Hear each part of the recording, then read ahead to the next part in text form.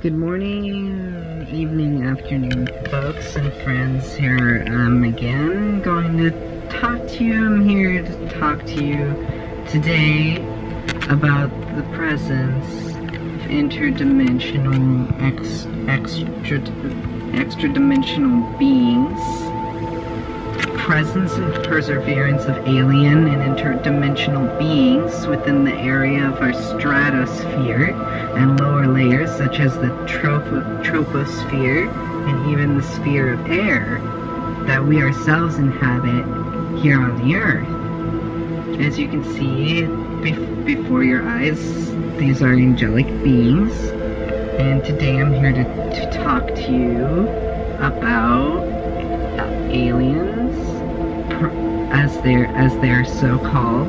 First things first, aliens or greys, as they are called by sci-fi conspiracy boys, are first and foremost, obviously and most will agree, simply fallen angels or demons for you lay people out there. Fallen angels are amongst two types of documented and reported angel types. The split in the species is between angelic angels and demonic angels. In the Gospel of Judas, it is said of the angels that the angels are from the immortal realm of Barbelo, and they are very powerful beings. As you can see in these circle uh, per- parameters, there are angelic beings caught on real camera here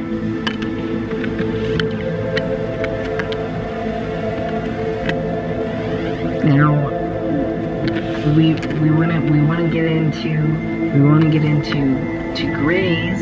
Gra- well, if we want to get into grays, we got to talk about we got to talk about how grays, as they are called, so called, are simply fallen angels or demonic angels, and they inhabit this plane in a temporal fashion. They cannot continue their existence in corporeal form on this plane when a good and healthy Christian, formidable foe with the blood of Jesus, is standing against them. They are the fallen, fallen beings from the, the war in heaven, and they're they're fallen angels, as you can see here. They are they're grotesque. They are are not loved by God. They are not loved by Jesus. They are not loved by the Holy Trinity or Mother Mary. And um, I just think this is all very interesting to share with you.